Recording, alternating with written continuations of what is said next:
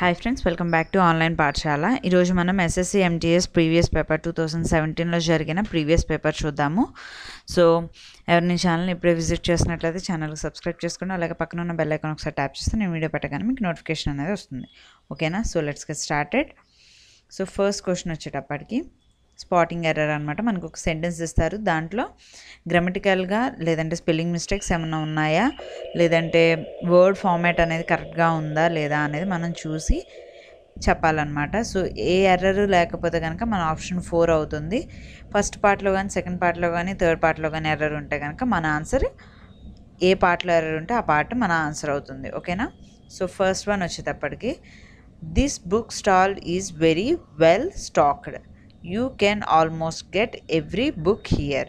So ఈ book stall అనేది ఫుల్గా స్టాక్ అయి ఉంది. ఐ మీన్ స్టాక్ అనేది ఎక్కువగా ఉంది. So you can almost get every book here. So నువ్వు ఇక్కడ ఏ బుక్ అయినా తీసుకోగలవు నీకు దొరుకుతుంది అని. సో ఇక్కడ మనకి ఫార్మాట్ వచ్చేటప్పటికి యూ కెన్ ఆల్మోస్ట్ గెట్ అని ఉంది కదా. సో మనకి ఎలా ఉండాలంటే you can get almost every book. Almost దాదాపుగా ప్రతి బుక్ నీకు ఇక్కడ దొరుకుతుంది అని చెప్తున్నారు. సో గెట్ అనేది ముందు ఉండాలి మన స్ట్రక్చర్ అనేది అలా ఉండాలి. So this book stall is very well stocked. You can get almost every book here. So option two is the right answer. ఓకేనా? Next. The old women continued living a hard life but never she asked for any help from neighbours. So ఆ old ఉమెన్కి కష్టంగానే ఉంది life ఆమె ఆమె life continue చేయడానికి. But never she asked for any help from neighbours కానీ ఎప్పుడు ఆమె పక్కన వాళ్ళ హెల్ప్ తీసుకోలేదు. సో ఇక్కడ కూడా సేమ్ స్ట్రక్చరల్ ఎర్రర్ అనేది ఉంది. So but she never asked అనేది కరెక్ట్ అనమాట the old women continued living a hard life but she never asked for any help from neighbours so ఇట్లా స్ట్రక్చరల్ ఎర్రర్ ఉందని మీకు ఎట్లా తెలిసింది మేడం అని అంటే మీరు ఇంగ్లీష్ ఎక్కువగా చదువుతూ ఉంటే మీకే అర్థమైపోద్ది. సో ఇట్లా ఉండకూడదు ఇట్లా ఉండాలి అని. మీరు చదవగా చదవగా అర్థమైపోతుంది. సో రోజు ఒక half an hour English paper చదివారనుకోండి ఆ స్ట్రక్చరల్ ఫార్మేషన్ ఎలా ఉంది ఏది ఎక్కడ ఉండాలి ఏది ఎలా ఉండకూడదు ఎలా ఉండాలి అనేది తెలుస్తుంది అనమాట so the old women continued living a hard life but she never asked for any help from neighbours so option two is the right answer next he runs faster than me I my his so his అనేది రాదు. ఇక్కడ మనం possessive pronoun అనేది use చేయట్లేదు. So he runs faster than I he runs faster than I is the right answer so option one is the right answer next there is no difference between dash and me there is no difference between dash and me you yourself you yours you there is no difference between you and me is the right answer so option 2 is the right answer there is no difference between you and me next మనకి ఇక్కడ four alternatives ఇచ్చారు select the one which best expresses the meaning of the given word so మనకి ఇచ్చిన word మీనింగ్కి almost similar meaning ఇచ్చే words ఏంటనేది మనం find out చేయాలన్నమాట. So first మనకి ఇచ్చిన వర్డ్ ఏంటంటే బ్లీక్. బ్లీక్ అంటే ఏంటంటే చామ్లెస్ అంటే దాంట్లో ఏ కళ లేకపోవడం కళావిహీనంగా ఉండడం. ఓకేనా? సో బ్లీక్ అంటే అది. సో మనకి ఇచ్చిన ఆప్షన్స్ ఏంటి? Comfortable depressing pleasant bright. So pleasant bright comfortable వచ్చేటప్పటికి మనం చూడడానికి బాగానే ఉంది. అందంగా లేకపోయినా బాగానే ఉంది కంఫర్టబుల్ ప్లెజెంట్ చూడడానికి బాగుంది బ్రైట్ చాలా వెలుగుగా ఉంది. సో మనం బ్లీక్ అంటే ఏమనుకున్నాం? వెలుగు లేకపోవడం నిర్జీవంగా ఉండడం. సో బ్లీక్కి ఆల్మోస్ట్ మీనింగ్ ఏమిస్తుంది? డిప్రెసింగ్ ఇస్తుంది. సో మనం డిప్రెషన్లో ఉన్నప్పుడే కదా కళావిహీనంగా ఉంటాము అంత ఉత్సాహం లేకుండా బ్రైట్నెస్ లేకుండా ఉంటాం కాబట్టి. సో బ్లీక్కి సిననిమ్ ఏమవుతుంది? Depressing బ్లీక్కి syn synonym depressing. Next. Next ఇది కూడా సినానిమే. Almost select the one which best expresses the meaning of the given word. So ఇచ్చిన వాటిలో బెస్ట్ మీనింగ్ ఇచ్చేది ఏంటి అన్నది మనం ఫైండ్ చేయాలి. చావోస్ అంటే ఏంటంటే కంప్లీట్ డిజార్డర్. అంటే అసలు ఆర్డర్లో లేకపోవడం లేదంటే కన్ఫ్యూజన్గా ఉండడం అనమాట సో ఆర్డర్లో లేకపోవడం అని అర్థం. సో ఇక్కడ మనకి ఆర్డర్ అని ఇచ్చాడు. సో ఆబ్వియస్గా ఇది కాదు. డిజార్డర్ అన్నాం కదా చావస్ అంటే సో క్వైట్ అంటే సైలెంట్గా ఉండడం నార్మల్గా ఉండడం. సో డిజార్డర్ ఆర్ కన్ఫ్యూజన్ అంటే నార్మల్గా లేకపోవడమే కదా. సో మిక్సప్ అంటే ఏంటి? డిజార్డర్గా ఉండడం లేదంటే కన్ఫ్యూజింగ్గా ఉండడం అన్నీ కలగలిపోయి ఉండడం అనమాట so option three is the right answer next core chorus. So chorus అంటారు కదా సో సినిమాల్లో కోరస్ పాడాను అంటారు. సో కోరస్ అంటే ఏంటి? ఒకళ్ళు సింగిల్గా పాడడం కాదు. గ్రూప్లో గ్రూప్లో ఉండి పాడడం అనమాట సో గ్రూప్ సింగింగ్ని కోరస్ అంటారు. సో డైరెక్ట్గా సింగింగ్ గ్రూప్. సో సింగింగ్ గ్రూప్ని కోరస్ అంటారు. So soloist or artist or pandit అనేవి ఏంటంటే సింగిల్ పర్సన్స్ గురించి మాట్లాడుతున్నారు. సో ఆబ్వియస్గా అవి కాదు. Singing group is the right answer. So option two is the right answer. Next. Split. So ఇక్కడ మనం చూస్తే ఇప్పుడు దాకా best express expresses the meaning అన్నారు. ఇక్కడ ఏమంటున్నారు? Opposite in meaning so opposites meanings opposites మనం చిన్నప్పుడు చదువుంటాం కదా సో అదనమాట సో ఆపోజిట్ అంటే ఇంటూ మార్క్ సో స్ప్లిట్ అంటే ఏంటి? సపరేట్ చేయడం. స్ప్లిట్ అంటే ఏంటి? సపరేట్ చేయడం. సో సపరేట్ చేయడం కలపడం. సపరేట్ కలపడం. So join is the right answer so split అని ఏంటి? విడదీయడం జాయిన్ అంటే ఏంటి? కలపడం. So option three is the right answer. Cherish అంటే ఏంటంటే ఎవరినైనా ప్రొటెక్ట్ చేయడం లేదంటే ప్రేమగా చూసుకోవడం అనమాట చెరిష్ అంటే. సో అడ్మైర్ అంటే ఏంటి? పొగడ్డం. నరిష్ అంటే ఏంటంటే అభివృద్ధి చేయడం అనమాట షెల్టర్ అంటే ఏంటి? నివాసం ఏర్పరచడం లేదంటే వాళ్ళకి వాళ్ళని ప్రొటెక్ట్ చేయడం అనమాట సో దీనికి ఆపోజిట్ ఏమవుతుంది? అబాండెంట్. అబాండెంట్ అంటే ఏంటి? వదిలేయడం లీవ్. వదిలేస్తే కనుక దాన్ని అబాండెంట్ అంటారు. సో అబాండెంట్ మీనింగ్ ఏంటి? వదిలేయడం. చెరిష్ అంటే ఏంటి? ప్రొటెక్ట్ చేయడం. సో రెండు ఆపోజిట్గానే ఉన్నాయి కదా. వదలడం uh, కేర్ చేయడం ప్రొటెక్ట్ చేయడం. So abandon is the right answer. Option one is the right answer. Next proceeding. Proceeding అంటే ఏంటి? ముందుకెళ్ళడం. ప్రొసీడింగ్ అంటే ఏంటి? ముందుకెళ్ళడం. సో యాక్షన్ అంటే పని చేయడం. ప్యాసివ్నెస్ అంటే ఏ పని చేయకుండా స్తబ్దుగా ఉండడం అనమాట మూమెంట్ ప్రొసీజర్. మూమెంట్ అంటే కదలడం. ప్రొసీజర్ అంటే కూడా ఒక ప్రాసెస్ అనమాట సో ప్యాసివ్నెస్ అనే అనే దానికి అర్థం ఏంటి? ఏమీ కదలిక లేకపోవడం ప్రొసీడింగ్ అంటే కదలడం ప్యాసివ్నెస్ అంటే కదలకపోవడం. So option two is the right answer. Opposite అనమాట ప్రొసీడింగ్కి opposite. Next idioms and phrases so ప్రీవియస్గా మనం చాలా ఇడియమ్స్ అండ్ ఫ్రేజెస్ మన ఛానల్లో చెప్పుకున్నాము. ఎవరైనా చూడనట్లయితే చాలా ఇంపార్టెంట్ అండ్ రిపీటేటివ్ ఇడియమ్స్ చెప్పడం జరిగింది. సో వాటిని చూడండి. ఓకేనా సో ఇప్పుడు ఇడియం వచ్చేటప్పటికి make a fortune mo make a fortune అంటే ఏంటంటే టు బికమ్ రిచ్ అని. సో ధనవంతుడు అవ్వడం అనమాట మేకే ఫార్చ్యూన్ అంటే ఏంటి? టు బికమ్ రిచ్ సో ఇక్కడ మనం క్లూలు ఏమి ఉండవు. డైరెక్ట్గా సెంటెన్స్ ఇస్తే మనం గెస్ట్ చేయొచ్చు. ఇలా జస్ట్ ఈడియం ఇచ్చారనుకోండి మీకు ఖచ్చితంగా ఈడియం తెలిసి ఉండాలన్నమాట. సో మేక్ ఏ ఫార్చ్యూన్ అంటే ఏంటి? To become rich option one is the right answer next cry down cry down అంటే ఏంటంటే టు డిప్రిషియేట్ అంటే తగ్గడం అనమాట క్షీణించడం అనమాట క్రై డౌన్ అంటే ఏంటి? To depreciate so option two is the right answer sorry option one is the right answer next the jury were divided in its decision so ఇక్కడ జ్యూరీ అని అంటున్నాము. సో జ్యూరీ అనేది ఏంటి? Collective noun so collective noun కాబట్టి ఇది singular ఉంటుంది అని అనుకుంటాం. కానీ జ్యూరీ అంటే జ్యూరీలో కొంతమంది ఉంటారు. వాళ్ళందరినీ గ్రూప్ మొత్తాన్ని కలిపి మనం జ్యూరీ అని అంటాం. సో ఒక్కొక్కరికి ఒక్కొక్క ఒపీనియన్ అనేది ఉంటుంది. సో ఇక్కడ ఇండివిజువల్ డెసిషన్ మీద ఆధారపడి ఉంటుంది.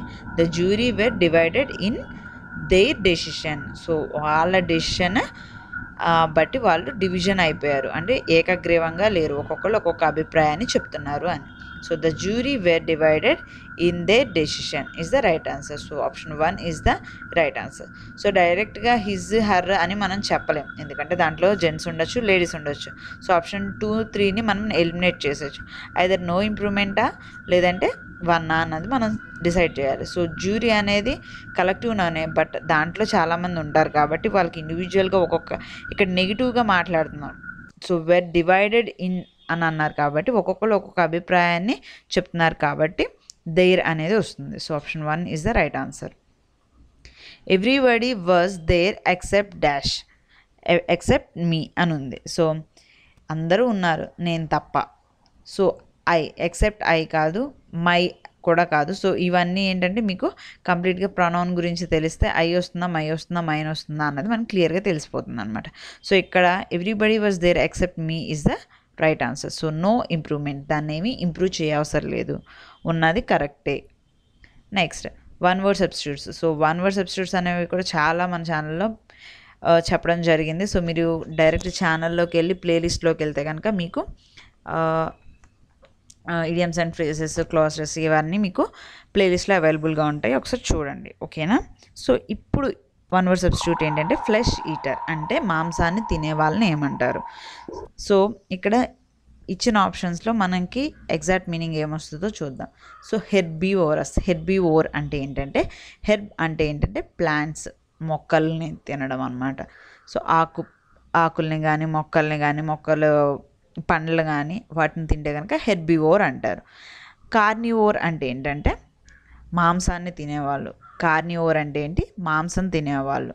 నెక్స్ట్ ఓమ్నివోర్ అంటే అన్నిటిని తినేసే వాళ్ళని వాళ్ళ వాళ్ళని ఏమంటారు? ఓమ్నివోర్ అంటారు. పిసివోర్ పిసి అంటే ఏంటంటే ఫిష్ అని అర్థం. సో చేపలను తినే వాళ్ళని పిసివోర్ అంటారు. సో మనకి ఇక్కడ ఫ్లెష్ ఈటర్ అంటే మాంసాన్ని తినే వాళ్ళని ఏమంటారు carnivore option two is the right answer. So ఈ వన్ వర్డ్ సబ్స్టిట్యూట్స్ కోసం మనం already word power made easy నుండి రూట్ వర్డ్స్ గురించి తెలుసుకుంటున్నాం కదా. సో ఆ రూట్ వర్డ్స్లో మీకు ఇలాంటి రూట్ వర్డ్స్ అన్నీ మీకు తెలిసిపోతాయి అనమాట సో ఓర్ అంటే ఏంటి? తినడం అనమాట మీకు హర్బ్ అంటే ఏంటి? కార్ని అంటే ఏంటి? ఓమ్ని అంటే ఏంటి? పిసి అంటే ఏంటి అనేది మీకు ఆ వర్డ్ చెప్పాను అనుకోండి. సో దాని మీనింగ్ బట్టి మీకు ఆన్సర్ ఏదైంది అని మీరు గెస్ చేయొచ్చు అనమాట so word power made easy classes కూడా ఒకసారి చూడండి. Next. One who prescribes medicine. So మెడిసిన్ని prescribe చేసే వాళ్ళని ఏమంటారు? ఆప్టిషియన్. ఆప్టిషియన్ అంటే ఆల్రెడీ మనం వర్డ్ పవర్ మెడిసి దాంట్లో చూసాం. ఆప్టిషియన్ అంటే ఏంటి? మన స్పెట్స్ని సెట్ చేసి ఇచ్చేవాళ్ళు. Next politician. పొలిటీషియన్ అంటే రాజకీయ నాయకు మనకు తెలుసు. బ్యూటిషియన్. బ్యూటిషియన్ అంటే ఎవరు? మేకప్ అవన్నీ చేసేవాళ్ళని బ్యూటిషియన్ అంటారు. సో మనం డైరెక్ట్గా మనకి ఫిజిషియన్ అని తెలియకపోయినా మనం డైరెక్ట్గా వీటిని ఎలిమినేట్ చేసుకుంటా వెళ్తే option four is the right answer. Option four is the right answer. So medicine prescribe చేసే వాళ్ళని ఏమంటారు? ఫిజిషియన్ అంటారు. నెక్స్ట్ స్పెల్లింగ్ మిస్టేక్స్ అనమాట సో ఈ ఫోర్ ఆప్షన్స్లో కరెక్ట్ స్పెల్లింగ్ ఏంటి? మనకు అప్పుడప్పుడు ఏంటంటే ఇన్కరెక్ట్ స్పెల్లింగ్ కూడా అడుగుతారు. సో ఫోర్ డిఫరెంట్ వర్డ్స్ ఇచ్చి వీటిల్లో ఏ వర్డ్ కరెక్ట్గా ఉంది? లేదంటే ఫోర్ డిఫరెంట్ వర్డ్స్ ఇచ్చి వీటిల్లో ఏది రాంగ్గా ఉంది అని కూడా ఇస్తారు. సో కంప్లీట్గా క్వశ్చన్ అనేది క్లియర్గా చదవాలన్నమాట. In the following question A word has been written in four different ways out of which only one is correctly spelled so ఈ నాలుగిట్లో ఒకటే స్పెల్లింగ్ కరెక్ట్గా ఉంది. సో ఆ కరెక్ట్ స్పెల్లింగ్ ఏంటి? కరెక్ట్ స్పెల్డ్ వర్డ్ ఏంటి? So direct suffering ఎస్యుఎఫ్ఎఫ్ఈఆర్ఐఎన్జి so option two is the right answer so ఇవి ఎలా తెలుస్తాయి మేడం అని అంటే ఇవైతే ప్రిపేర్ అవ్వడమే. జస్ట్ మీరు చదవడమే అనమాట నెక్స్ట్ కరేజియస్ కరేజియస్ స్పెల్లింగ్ ఏంటి? సిఓయుఆర్ఏజిఈఓయుఎస్ సఫరింగ్ అంటే ఏంటంటే బాధింపబడడం కరేజియస్ అంటే ఏంటి ధైర్యంగా ఉండడం.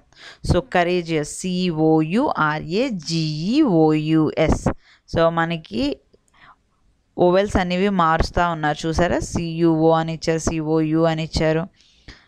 సో ఇట్లా డిఫరెంట్గా మారుస్తారు అనమాట సో దాంట్లో మనం ఎగ్జాక్ట్ స్పెల్లింగ్ కరెక్ట్ స్పెల్లింగ్ ఏంటనేది మనం చెప్పాలి. So option four is the right answer. Next rearrangement of sentences. So parajumble sentences ఎలా చేయాలి? మనం చిన్న చిన్న టిప్స్ అనేవి కూడా వీడియో అనేది ఉంది. మీరు అది కూడా చూడండి. ఓకేనా? సో ఇక్కడ చూస్తే మోడర్న్ ఈమెయిల్. అని స్టార్టింగ్ లెటర్ ఇచ్చారు. సో దీన్ని మనం ఒక కంప్లీట్ సెంటెన్స్ కింద ఫామ్ చేయాలన్నమాట.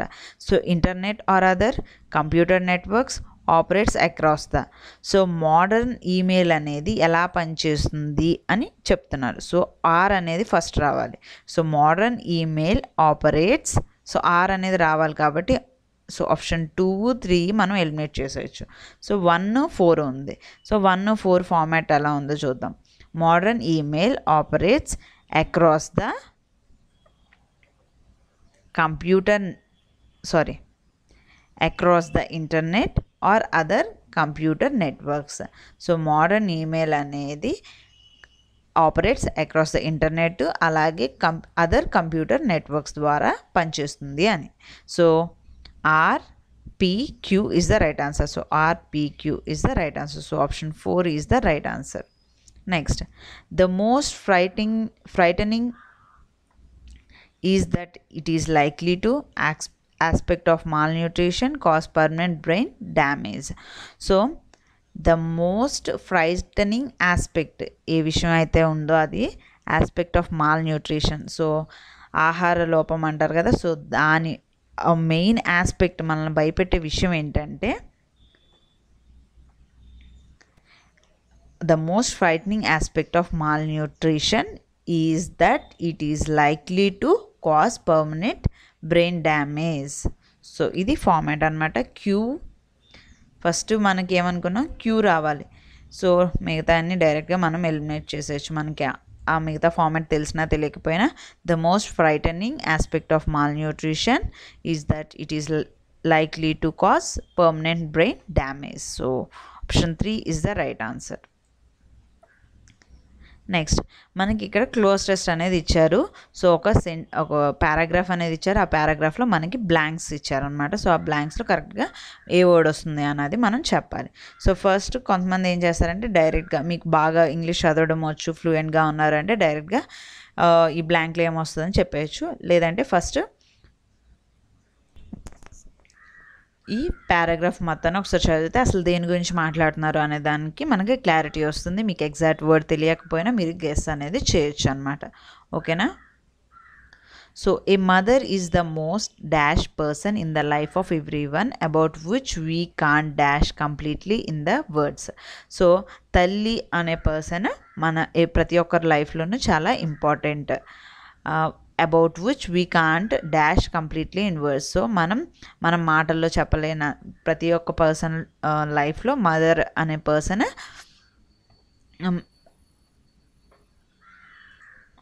సో మనం మాటలో చెప్పలేనంత ఇంపార్టెంట్ పర్సన్ మన మదర్ అనమాట however some of the dash moments with our mother can be described so కొన్ని ఇంపార్టెంట్ ఆర్ ప్రెషియస్ మూమెంట్స్ మన మదర్తో మనం డిస్క్రై డిస్క్రైబ్ చేయొచ్చు. A mother is dash most beautiful and caring person in our lives so the mother is dash. So mother most K beautiful and caring person. ప్రతి ఒక్క person లైఫ్లో mother most beautiful and caring person అనమాట చాలా ప్రేమగా చూసుకునే వ్యక్తి. She always cares every moment for our every need without her dash intention so ప్రతి ఆమె మన ప్రతి మూమెంట్ మనకి ఏ టైంకి ఏం కావాలి అనేది బాగా చూసుకొని ఆమెను ఆమె పట్టించుకోకుండా మన పనులన్నీ చూసుకొని మనల్ని జాగ్రత్తగా చూసుకుంటూ ఉంటారు. సో ఇదనమాట సో మనకు బ్లాంక్స్ వర్క్ ఉంది కాబట్టి అక్కడ వరకు చాలు.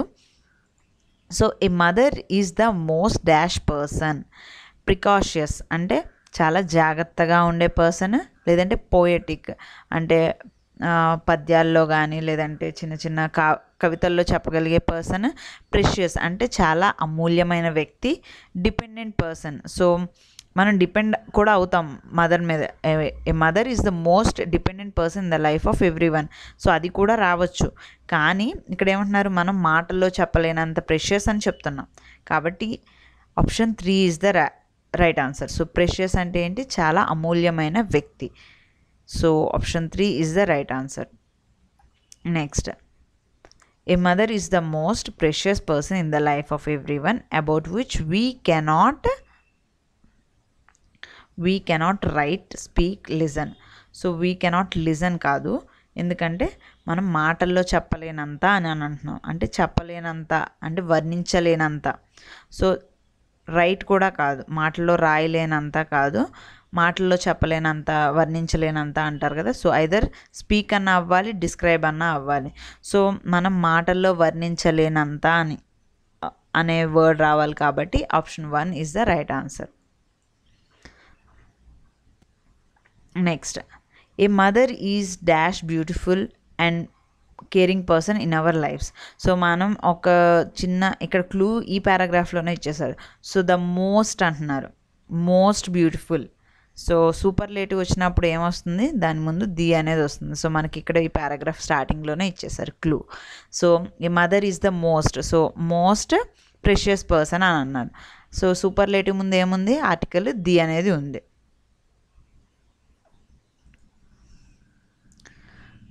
Sorry. Next question. A mother is the dash most beautiful అన్నాడు. సో ది అనేది వస్తుంది ఇక్కడ.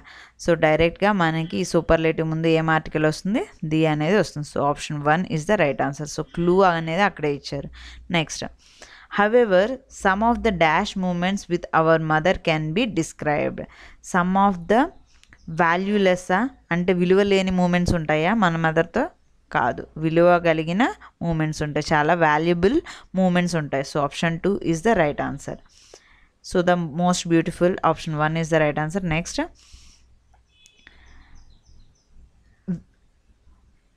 she always cares every moment for our every need without her any dash so ఆమె పర్సనల్ ఇంటెన్షన్స్ ఆమెకి ఎలాంటి ఇంటెన్షన్స్ ఉండవు. కేవలం మనల్ని బాగా చూసుకోవాలి అన్న ఉద్దేశం మాత్రమే ఉంటుంది. So option four is the right answer so ఇది ప్రీవియస్ ఎంటీఎస్ పేపర్ హోప్ మీకు ఈ వీడియో నచ్చింది అనుకుంటున్నా. నచ్చితే కనుక ఖచ్చితంగా లైక్ లైక్ చేయండి అండ్ తప్పకుండా మీ ఫ్రెండ్స్ అందరికీ షేర్ చేయండి. అండ్ మోస్ట్ ఇంపార్టెంట్ థింగ్ ఏంటంటే ప్రీవియస్గా చాలా గ్రామర్ వీడియోస్ అనేవి అవైలబుల్గా ఉన్నాయి. వాటిని కూడా చూడండి. సో మీకు అసలు ఏ టైప్ ఆఫ్ క్వశ్చన్ ఎలా ఆన్సర్ చేయాలనేది ఒక ఐడియా వస్తుంది. ఓకేనా so thank you for watching the video have a nice day